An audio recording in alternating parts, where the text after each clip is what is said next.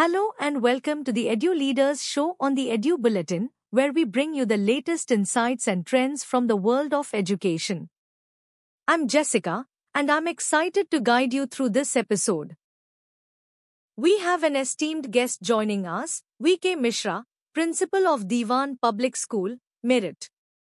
How does bringing institutions like ISRO directly to school campuses help students stay committed to science beyond job driven choices?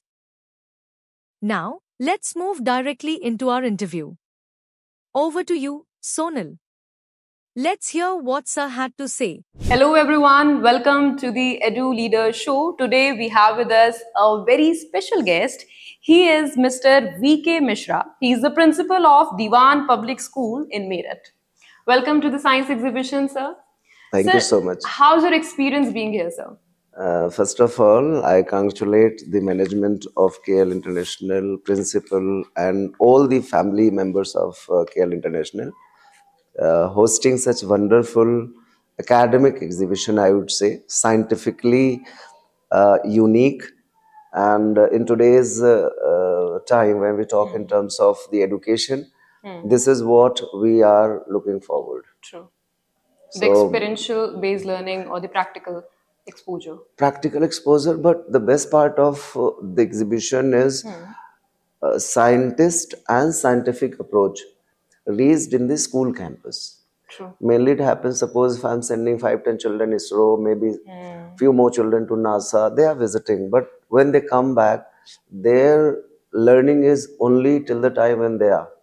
When the scientific approach is reaching to the campus hmm. most of the parents also must have visited Yeah. scientific uh, inclination must have gone to the different levels. So I really enjoy it and I thank the management and the ISRO because now uh, it's uh, both the ways when uh, ISRO is uh, coming to the campus of institutions where below 18 age children are studying.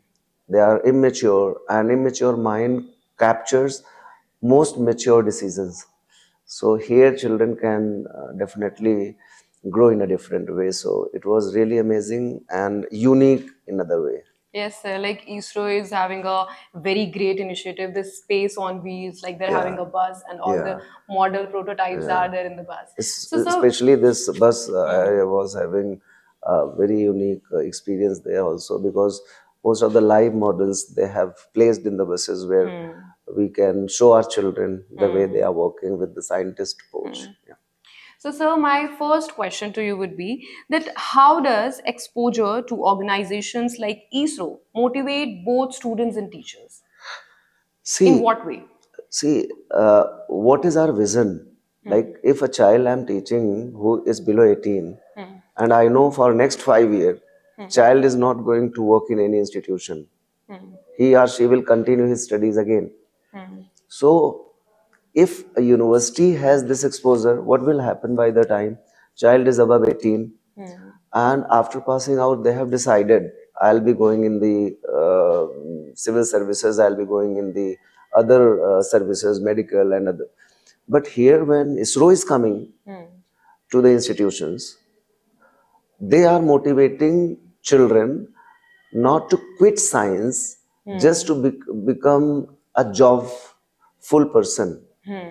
in today's time what happens a child who is brightest in the school opt science hmm. go to btech complete his degree in btech hmm. and thereafter they join one corporate sector.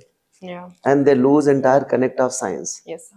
so what uh, IIT or engineering colleges they have given is now waste. So all such institutions, whether it is ISRO, uh, IISc Bangalore, all they are trying to inculcate in brain of children that if you are studying science, then it's not necessary to get job in terms of the money.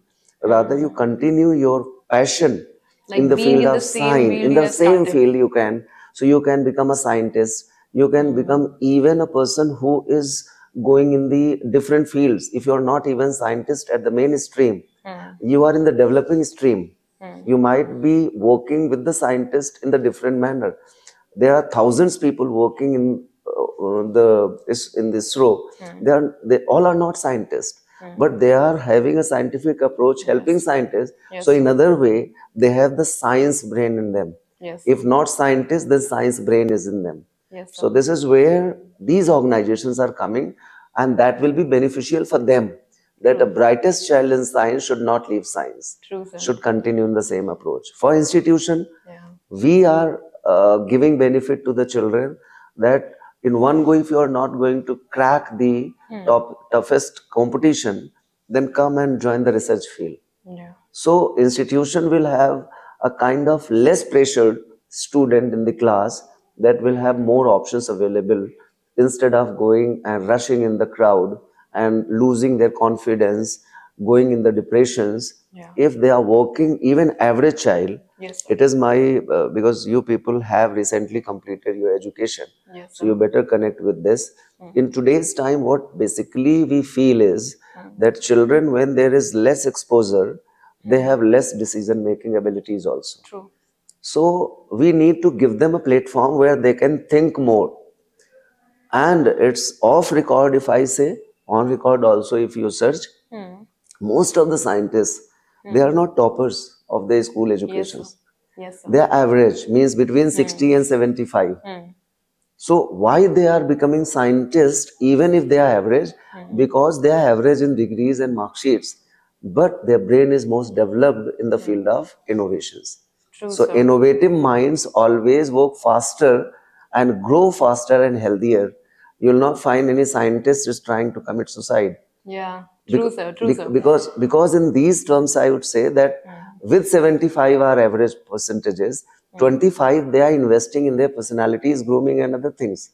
So entire cohesive approach is there. Hmm. So this is helping schools that you will not have only one or two uh, directions to move after school education.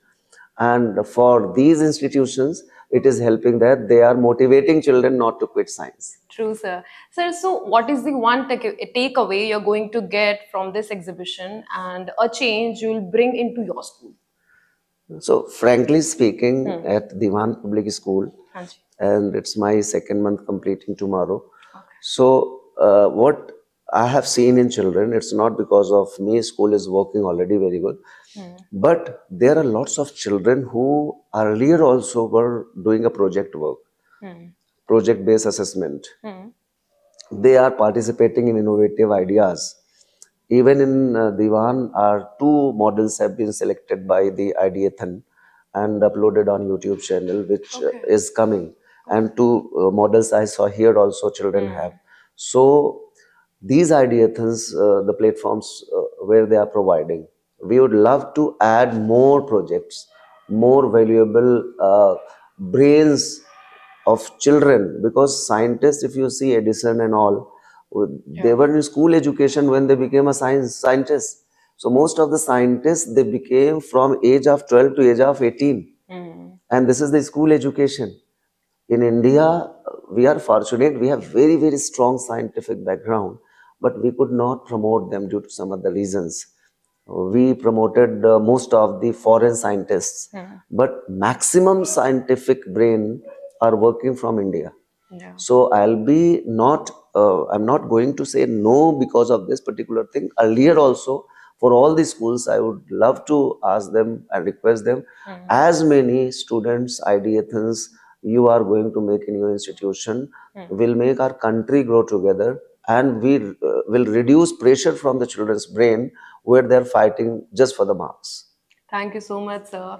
It was uh, my pleasure having you here. Like, it was a wonderful time. Thank it's you my so pleasure sir. thank you so much Thank thank you, you everyone Thank you for joining us for this enlightening discussion. We hope you found it as insightful and inspiring as we did. Save the number 72170701000 and send Hi on WhatsApp to receive daily educational news updates and inspiring interviews from the Edu Bulletin.